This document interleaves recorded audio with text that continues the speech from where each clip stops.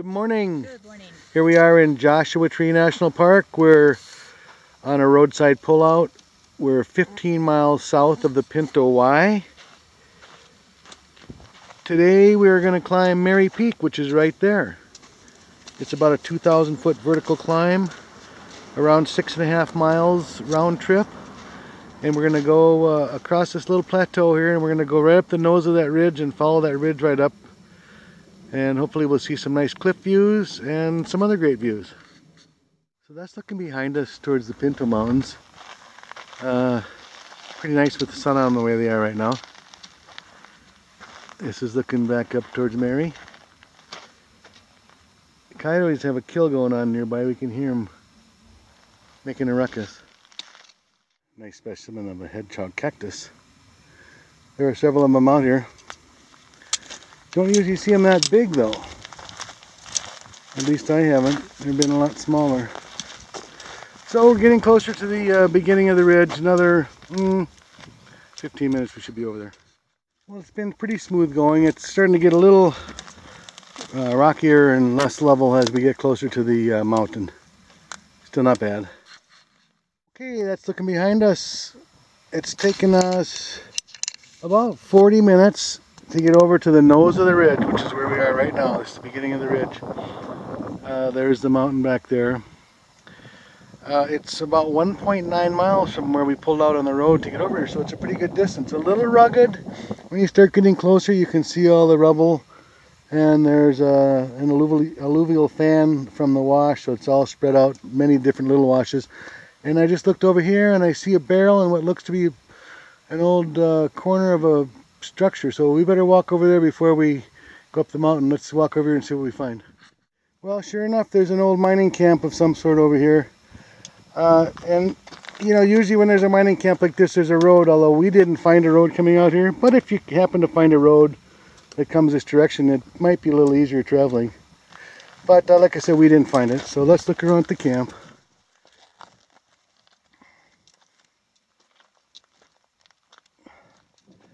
There's the mandatory bed spring and all that's uh, left over in all these places. A little bit of wood, an aluminum pan or pot, and a little dish pan, some cans, a fireplace. Not much going on. A lot of these old mining camps are pretty well shot. Not much left of them. I think a lot of them they reclaimed the wood and the the uh, tin for the roofs and used them in other places. Most of them seem to have a bed spring though, that's for sure, and a can dump.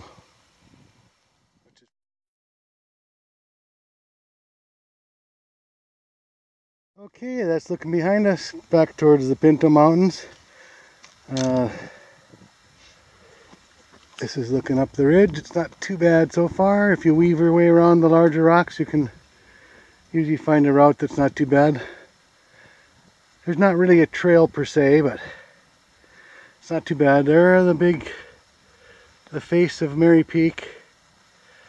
There's a big wash coming out of there. And that's looking mostly north, I guess, through the Hexie Mountains. Like we've got a bit of a wall up here that we have to get around or over somehow. I'm sure we'll figure it out.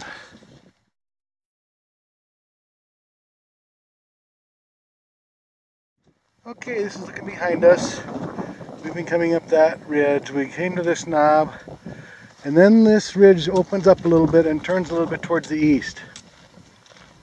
And here are the cliffs above us. That's the the cliffy face of Mary Peak. So it gets, the going gets a little easier here now. Not quite such large rocks you have to negotiate around. And I believe we follow this up to that next ridge line and follow that one to the peak.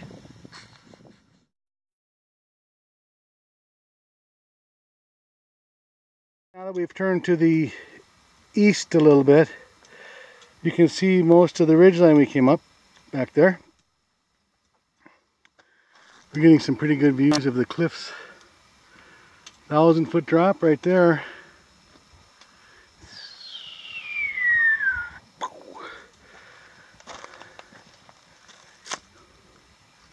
And the wash coming out the other side there. If you want, you can go around the back of the mountain, descend the back of the mountain and come around the other side and come out that wash. It adds a mile or a mile and a half to the hike. There goes Julie Mountain going up the slope.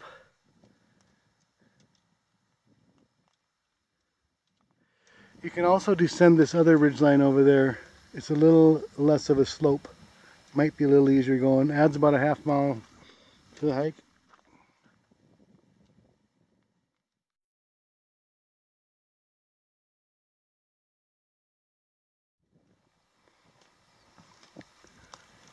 There's the peak. Here's the ridge.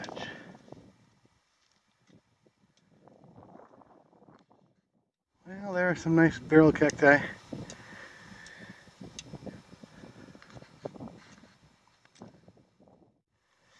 There's our ridge again on the left there.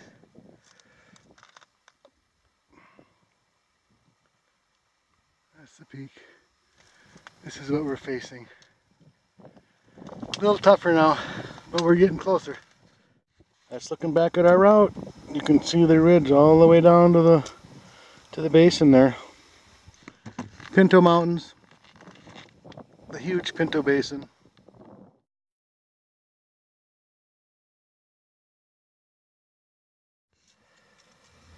Okay, that section was a little steep, but we're on our final stretch which is right behind me. Right there, that's all that's left. Too far into it to back off now. So, here's the view back into the Hexie Mountains. Well, we're just about there. It took us just about exactly three hours. That's counting stopping for about 10 minutes for lunch. But here we are the top of Mary Peak. A little breezy. A few uh, barrel cacti up here. In fact, there's one just on the peak, which is right here. You were a mountain climber, Julie. There you have it. That's it. There's nothing higher on this little deal.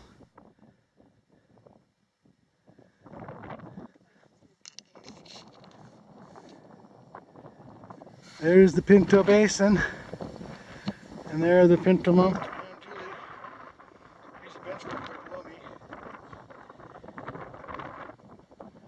That's the top of it.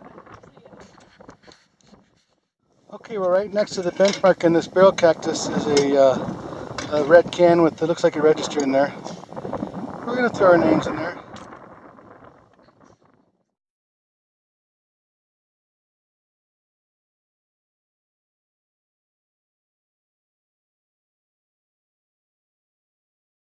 Well, now that we've done that, there's nowhere to go but down, so we best get started, I guess. I think we're going to take the same way down. There are options. Like I said, you could go around the back of the mountain and come out that wash down there. Or you can go down the ridge that we see there. Or you can take the next ridge to the right. So we got to make a decision here in the next couple minutes. That looks like uh, the white mountain is San Gorgonio. And there's San Jacinto over to the left too.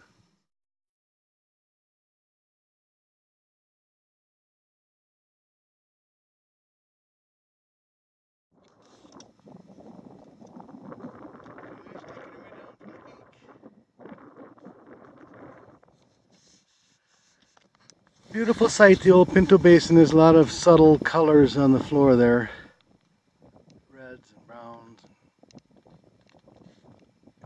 Shades. Pinto Mountains, we've not climbed that one yet. Probably will someday. Well, we're back down off the main part of the mountain, which is up there. So far so good. We're back down to the kind of the ridge here. And I guess we determined we're going to take the same way back that we took up here. It's the shortest way.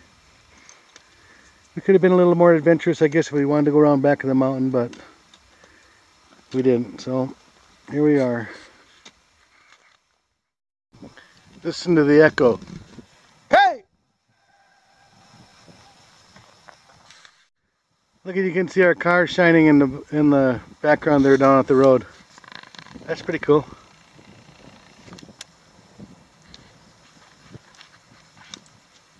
That's it. That's where we're headed, only about three miles away.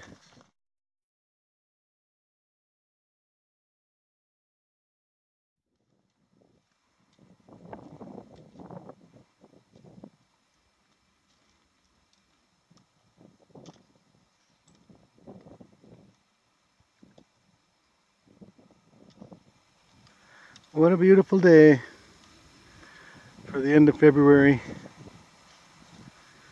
Must be around 60, maybe a little warmer. Little breeze.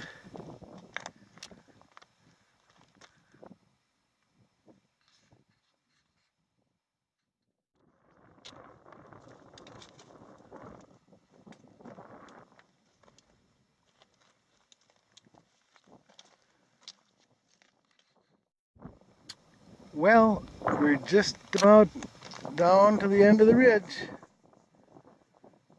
Another few minutes and we'll be done. Pretty cool hike. Uh, kind of difficult though. Tough terrain and a lot of elevation gain.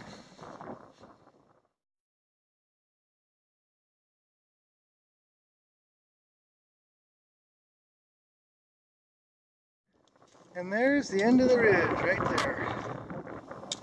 There's the top of the mountain. Pretty fun. I would say it's a pretty tough, uh, tough hike up there. No technical skills necessary, but uh, definitely a lot of rough footing, uneven footing with all the rocks, and and now we got two miles to go over this stuff. Although it's not all as bad as, it looks right here. Well, there's our last look back at the old ridge. Pretty fun. Here the oxtails are leafing out again now that they've gotten some moisture. I don't know if that's a flower on the end or is that just, oh that's just broken off. Another one.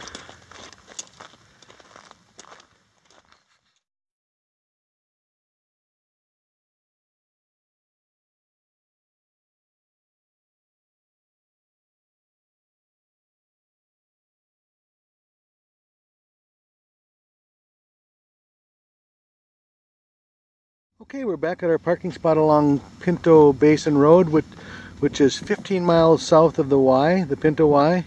Uh, the hike ended up being 7.65 miles, according to our GPS, an elevation difference of 2164, and it took us just a shade over six hours, including eating, eating lunch.